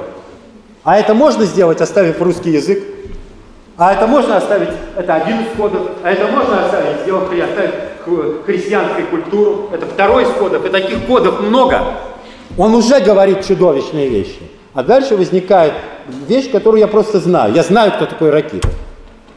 К сожалению, произошло так, или не знаю, так распорядилась судьба, что я не вступал в партию, не хотел вступать, у меня были к этому свои основания. Когда все из нее побежали, я вступил, и меня очень быстро поволокло наверх. И я действительно там потом публиковали особые папки Кургинян и так далее. Это понятно, что такое. Да? Это так называемая высшая политическая разведка партии. Да? Вот. И я просто знаю, кто такой Ракитов. Ракитов человек, который озвучивает э, мнение одного почтенного представителя КГБ СССР. И дальше для меня-то главный вопрос был в этом. Кроме того, здесь я написал об этих кодах. А в 2007 году Ракитов написал, что не надо менять коды так. И не надо проходить через катастрофы с тем, чтобы построить великую постиндустриальную Россию. Россию надо расчленить, а критерием успеха нужно расценивать один – чистоту сортира. Точка. Я говорю, я вхожу когда в туалет, я запах у меня обострен. Я вот чувствую этот русский запах дерьма в квартире. Вот, а, а в настоящих, настоящих продвинутых местах запаха этого нет. Это Голландия и так далее. Вот вы должны расчленить страну на 20-30 частей. Я от себя цитирую. Я в, в, следующих, в следующих книгах, вот уже, например, э, в этом странстве, я процитировал это точно. А, Высокяков, я процитировал это точно, дословно. И вот я должен сделать, надо расчленить все на 20 частей, и тогда в каждой части будут чистые сортиры. Почему? А может не будут? И вообще, так сказать, когда вместо постиндустриального и всего прочего уже сортиризация всей страны подразумевается главной целью, но это как-то все-таки не то. И опять, говорю, жив курилка, опять это озвучивается. Я в данном случае просто знаю, что говорю. Я не могу вам предоставить доказательств, Поверьте мне, мне незачем на кого-то клеветать, чем-то тут заниматься. Я просто знаю, для меня это индекс политологии. Мы говорим X, подразумеваем Y. Это коннотат и денотат. Политическим коннотатом для денотата под названием ракетов является некий субъект процесса, который, так сказать, э, мучает этот процесс уже э, лет 40. Вот так. Сергей Иванович, да. разрешите сделать предложение. У нас работы остается минут 30 по максимуму. Если можно, мы будем перейдем к каким-то более компактным вопросам. Нет, главное, я должен перейти к компактным ответам. Это не, не люди виноваты, а я. Вы мне говорите там, минута, ведите все, пожалуйста. Да, да. У меня вопрос такой. Через неделю вы становитесь президентом России. Ваши действия.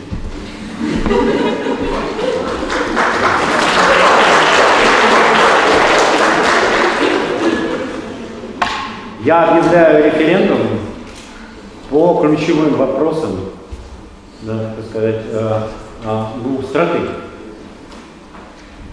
Русский народ должен ответить на вопрос о, так сказать, об обществе, об устройстве общества. Мы продолжаем строить капитализм. Какой капитализм? Классический, не классический. Эти вопросы можно просто сформулировать. Никто и ни один президент не должен обеспечивать русский поворот без референдума. Мы должны услышать свой народ да, и действовать на основе этого права. Это первое. Второе. Никто сейчас, никто сейчас не будет заниматься, э, так сказать, э, кроме сумасшедших, да, возвращением назад в какой-нибудь 70-й, 80-й, какой-нибудь год. Это невозможно. Это можно сделать только если будет катастрофа. По ту сторону можно сделать все, хоть военный коммунизм. Но если нет катастроф, только сумасшедший это может сделать. У нас даже расстрельщиков под эту модель нет. Понимаете? Не говоря о том, что все отвратительно и кончается ничем. Значит, все, что мы должны сделать, мы должны национализировать все, что приносит экспорт, а это прежде всего нефть, газ и все прочее. Эта национализация должна произойти немедленно и должна быть выражена более народа. На эти деньги должно быть сформировано государственное ядро в виде образования, здравоохранения и так далее. Никто никогда не говорит, что все должны жить при коммунизме. Но педагоги и врачи всегда должны жить при коммунизме. Или вы нам скажите прямо, что, так сказать, э, образование и здравоохранение – сфера услуг. Но тогда давайте договаривать до конца. Если образование, здравоохранение и так далее – сфера услуг, то как далеко продлевается сфера услуг? Э, милиция это тоже сфера услуг. А если это сфера услуг, то выдайте мне долю из бюджета, я буду покупать услуги у кого захочу, а не впаривайте мне для этого непонятные организации и фонды. Если сфера услуг. Но мы же понимаем, что педагоги, что образование и, так сказать, здравоохранение – это сфера национальной безопасности, а не сфера услуг. Так же, как армия. В противном случае дайте мне долю, я заплачу частной армии или частному ЧОПу. Это же бред. Значит, этот принцип сам услуг не понимают, куда идет. А самое главное, мутация, вот вы спрашивали это, а мутация заключается в том, что с одной стороны все находится в сфере услуг, да, это тезис А, тезис Б, а мы будем впаривать в этом эту услугу через наши организации. А попробуйте ее не принять от нас.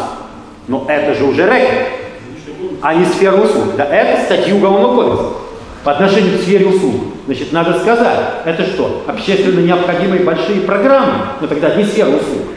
Тогда понятно единство образования, единство культуры и так далее. Но тогда на эти вопросы тоже надо получить ответ. Значит, государственное ядро, образование, наука, здравоохранение и так далее должно быть создано за этот счет этого экспортного потенциала. А рыночная периферия, частные, частные и прочее, должна быть наоборот освобождена не должно быть одинаковых действий в ядре системы, которые должны быть сделаны государством, и на периферии. Нам также не нужны сейчас эти частные э, э, как бы, сырьевые компании, как нам не нужно государственный ларек э, с продажей шашлыков. Нам и то, и другое не нужно одинаково. Значит, мы должны создать частную рыночную периферию. Будьте добры, все свободны. Частную школу, куда угодно. Полная демократия. И мы создаем государственное ядро со своими привилегиями совсем. Кроме того, мы должны создать еще один уклад, продвинутый, постиндустриальный. И этот уклад, конечно, связан с чем-то вроде, вроде того, что в Израиле называют кибуцами. То есть это уже добровольные, интеллектуальные и прочие общины, которые двигают вперед этот уклад. Что в этом плохого? Значит, смысл заключается в том, что мы можем на этом этапе создать многоукладную систему, с государственным ядром, частной периферией и advanced, продвинутыми группами. Вот это и есть то, что может сделать Россия с точки зрения устройства. Ну пусть народ это скажет. Пусть мы увидим, что большая часть народа хочет так. А не каждые 10 лет. Сегодня избрали одного президента, потом другого. И, наконец, я вас должен огорчить или, наоборот, обрадовать. Я, э, так сказать, не воспринимаю эту возможность как что-либо. Есть две вещи, которые я воспринимаю для себя приемлемыми. Я не хочу. Президент должен избираться, а я не хочу. В ответ на вопрос, почему не хочу, отвечу э, из анекдота. Почему верблюд не ест селедку? Не хочет и не ест. Вот. Значит, в этом смысле вопрос один. Если страна не гибнет и все прочее, я знаю, что я делаю. Тысячи людей из сути времени, молодая, бескорыстная, интеллектуально, не скажу продвинутая, но очень заинтересованная, так, э, тянущаяся к этому молодежь, сказала, что я ее лидер. Я выведу ее в политику. Ее я выведу. Мне самому в этом деле ничего не... Уверяю вас, что если бы я хотел быть депутатом, председателем комитета или министром, я бы давно им стал. Да? Но я этого не хочу, как тот верблюд. А если в стране происходят катастрофические процессы, я буду преодолевать эти катастрофические процессы по принципу, так сказать, кто не спрятался, я не виноват. Срыв в катастрофу – это и другие вопросы об общественной жизни. Дети хотят проделать историю. Можно только помочь им ее делать. Отговаривать их делать бессмысленно. Не поручено этой молодежью что-то делать. Вот я и буду делать. Я вот так доволен. Мне больше ничего не надо. А сидеть в Государственной Думе, руководить там каким-то комитетом, это значит захотеть повеситься через 10 дней. Это же конкретный вопрос. Это конкретная деятельность. Это повеситься. Поэтому у меня есть довольно собственная, э, так сказать, э, такая необычная диаграмма интересов. А в рамках этой диаграммы интересов я, например, считаю, что движение «Суть времени» наиболее политизированное должно идти в самые погибшие части, вот области, в в те места, где в наибольшей степени все рухнуло. Как говорила новелла Матвеева, где гляди, не гляди, но не выглядишь выгодно. И вот туда должны идти, как на свою войну политическую, там побеждать, там исправлять ситуацию, а завтра посмотрим. А сажать сейчас молодых, бескорыстных людей в законодательные собрания, чтобы они смотрели за взрослыми играми, приходили в ужас или в тоску от того, что они в них участвуют или не участвуют, да, это совсем не то, что нужно людям. Поэтому у меня сейчас вот так занята жизнь в ближайшие годы. Я только не уверен, что удастся сохранить даже ту минимальную и несовершенную стабильность, которую есть, и для сохранения которой я сделал все, что в моих силах. Все, что надо. Да, пожалуйста, кто? Да, кто? Девушка. Извините, lady first. Да, пожалуйста.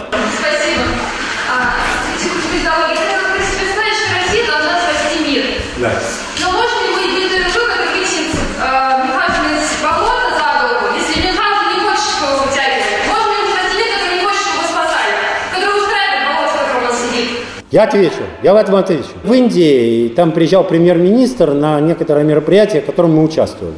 Оно было международным. И я там говорю вот то же, что говорю здесь.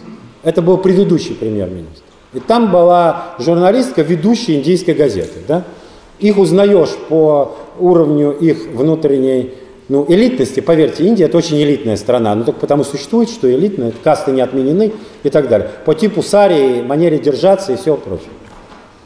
На безупречном английском языке, что у индийцев бывает не так часто, они комкают все, и там очень трудно понять язык. Она подошла ко мне сказала, скажите, мне сказали, что вы а, будете восстанавливать Советский Союз. Это правда? Скажите, вы мне сказали, что мне сказали другие вот сейчас, с кем я говорю, что вы будете восстанавливать Советский Союз. Это правда? Я говорю, да, я мечтаю об этом. А что? Нет, но вы мечтаете или вы будете предпринимать действия? Предпринимаю и буду. А почему вы меня об этом спрашиваете? Она говорит, а я потому что я не хочу жить, не имея надежды на то, что он будет восстановлен. А она не коммунистка. Ей было максимум 22 года. Она принадлежит высшим кастам индийского общества. Поэтому говорить о том, что именно хочет и не хочет мир, мир в ужасе смотрит на Россию а рассказывать вам о том, как на нее смотрят китайцы, которые говорят, вы люди без лица, вы вели в коммунизм, а потом повернули. Или ГДРовские немцы. из наиболее э, сильных коммунистических партий, которые говорят, так как вы нас предали, так как нас русские кинули, нас никто не кидал в жизни, да? Вот я вам не буду. При этом одновременно с этим говорится следующее. Ко мне подходят представители левых сил из партий э, Европы и говорят, скажите, пожалуйста, нам нужно три недели, чтобы взять власть. Вот мы ее берем и никому не отдаем. Никаких проблем нет поднять народ. Что мы дальше должны делать?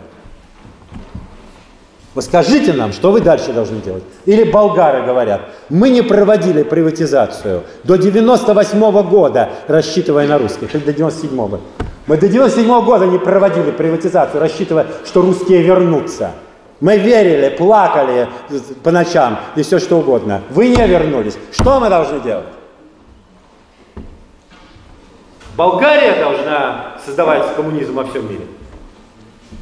Она знает, что она будет раздавлена в течение 20 дней. И на этом все кончится.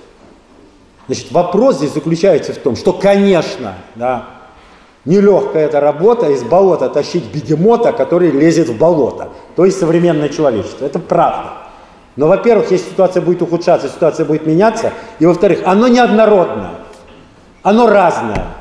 И нужно найти такие пути, чтобы с минимальным насилием вытащить его туда, где оно спасется. И, наконец, последнее. Нужно понять. Очень скоро, в течение двух-трех десятилетий, да, для вас это просто совсем скоро, окажется, что если раскрепощение и пробуждение высших творческих способностей в каждом не есть цель, то примерно две трети человечества вообще не нужны. У них нет никакого права на жизнь в пределах существующей технологической системы. Вы мне не, не расскажете, с помощью каких технологий это будет приводиться к данному знаменателю? И может ли быть тут востребовано что-нибудь, кроме фашизма?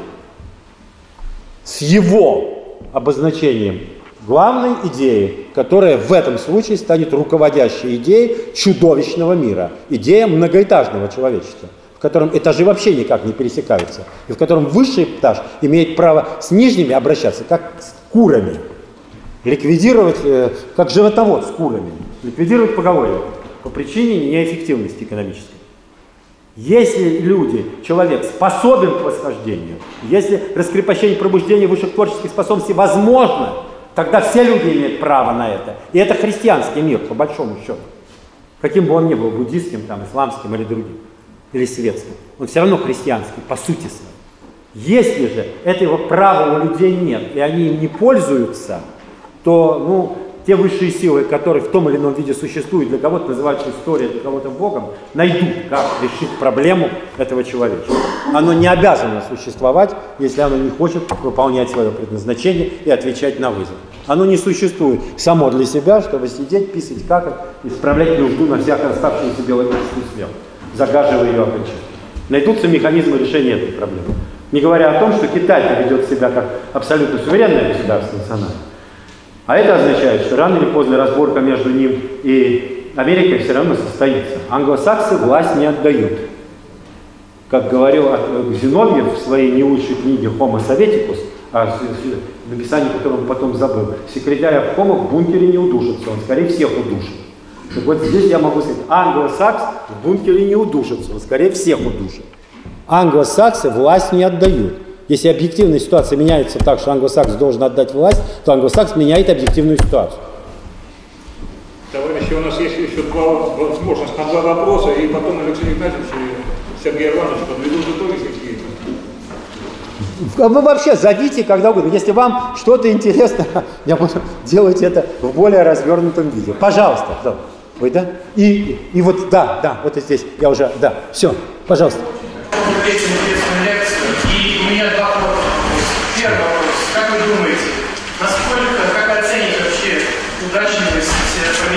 Информационной политики в России, то есть сопровождение ее политики за языком. И второе. Как вы думаете, какую роль должна играть политическая наука и университетская выбор при возможных методах или стратегии информационной политики? Все самые современные сегодняшние а, ну, ассы журналистики в закрытом режиме закрытых беседах требуют идеологии. И говорят, что мы без этого не можем. И это понятно. Если есть идеология, то ты свободен, да? Ты можешь куда-то рулить. А если нет идеологии, то ручное управление. Тебя вызывают, говорят, кто несет сюда, сюда. Это первое. Второе. Я понимаю, насколько все несовершенно, но я должен вам сказать, что если бы в конце советской эпохи все нынешние, весьма несовершенные капитаны информационной индустрии действовали так, как они сейчас действуют, вместо очень совершенного и благородного, например, господина Кравченко, то Советский Союз был бы сохранен.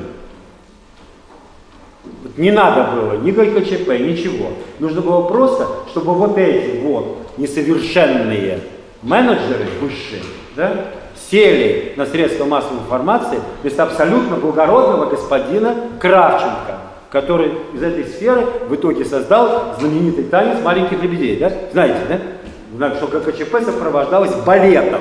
То есть был, оно расписалось в том, что оно вообще не нуждается в слове. Вы можете себе представить Троцкого или Ленина, который, получив телевидение, пускает балет. Да? Они бы говорили по 24 часа в сутки, убеждая население. И понимаем, что все состоит в этом убеждении. Пустили балет «Лебединое озеро». И все сказали, что говорить нечего. Как говорят в театре, что говорить, если нечего говорить. Так вот, если бы на месте этого находились нынешние несовершенные менеджеры, и на, или, например, и на вещании находилась в руках там, ну типа менеджера под названием Маргарита Симонян, то ситуация была бы другой, потому что эти грызутся лучше или хуже, но они грызутся, их вносят в проскрипционные списки, что есть подлость неимоверная, и, так сказать, расчеловечить, а они грызутся. Хуже или лучше, я обсуждать не буду, просто времени нет. Считаю, что не лучшим образом, считаю, что есть опасные тенденции, но они грызутся.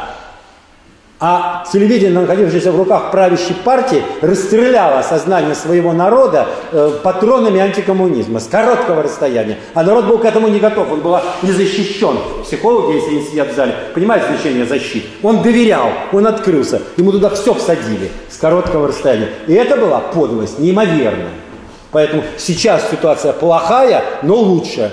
Поэтому пусть они не ждут что так легко у них э, вытанцовывается будет их перестройка.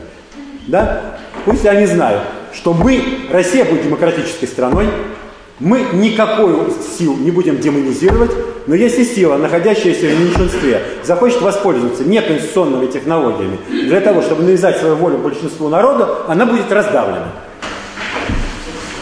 Разрешите,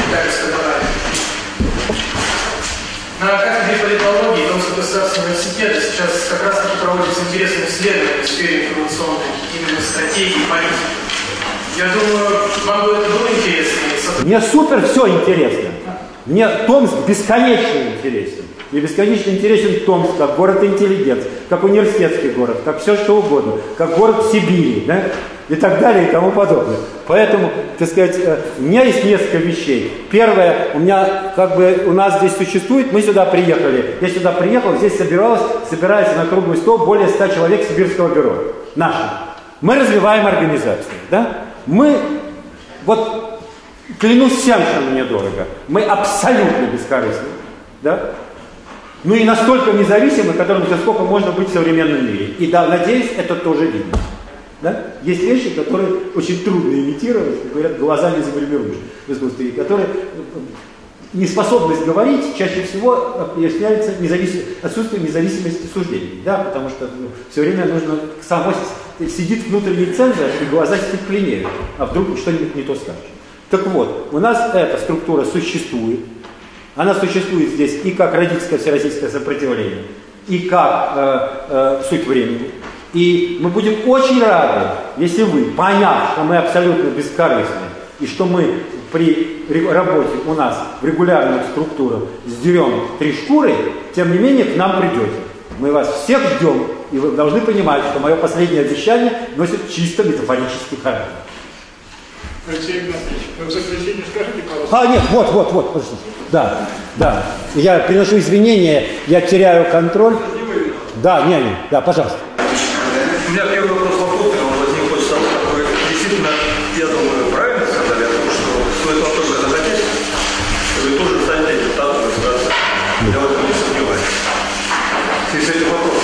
Ну, вы, надеюсь, понимаете, что не от времени, а, а времени. От любой структуры, да. Ну, понятно, да? Ну все, да. Вы непосредственно какой политической партии себя видели? Я депутатом ни по какой, но все, что мне скажет суть времени, я сделаю, и ни с какой силой, кроме сути времени, я себя не связываю. Понятно. Я ему отдал жизнь, и все.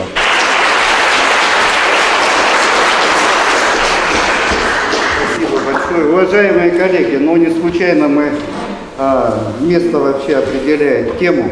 Мы собрались в большой физической аудитории Томского государственного университета прошли через физику, метафизику, схоластику, через всю политику. Я считаю, что это э, блестящее выступление блестящего человека. Э, еще одно воспоминание. Когда мы учились на первом курсе, здесь э, шли занятия по истории, и вот на лекции что-то по древней русской истории раздался храм. Первокурсница утомилась, утомилась э, по истории Древней Руси. Здесь этого не было. Я считаю, что все живы, здоровы, все э, прекрасно Можно расскажу такую же короткую совсем историю. Я же сын филолога, моя мать работала в Институте мировой литературы, и она такой ну, крупный филолог, специалист по Томасу Ману по теории литературы. И в числе людей, ну, которые там все время, ну, тут все, Аверинцев, там, Гаспаров, э, Грабарь Пасок, для меня это знакомые с детства фамилии. А сектор теории литературы весь просто знаком. Вот мне рассказывали историю о том, как Грабарь Пасок пришла на журналистский факультет. Грабарь Пасок – это учитель Аверинцева, Гаспарова и других вот, специалистов по античности. Она пришла, она была уже человеком в возрасте, и она не должна была считать на журфаке, но кто-то заболел, она пришла на а, а аудитория шумела. Шумела, и это были журналисты. Она стукнула так, что они затихли и сказала, «Гомера!» Надо читать на коленях. Сделала паузу, сказала, и не вам. Вот. Я просто хочу сказать, что тот, кто спит, тот, кто спит на лекциях по древней истории, другой разговор. Я думаю, что сейчас нам уже, ну, пора просыпаться и переходить в какое-то состояние интеллектуальной ответственности, которое отнюдь не противоречит интеллектуальному долгу. Вы учитесь и учите. Честь вам и хвала. Я считаю, что вы делаете главное дело в современной России, а значит и в мире. Спасибо вам за это.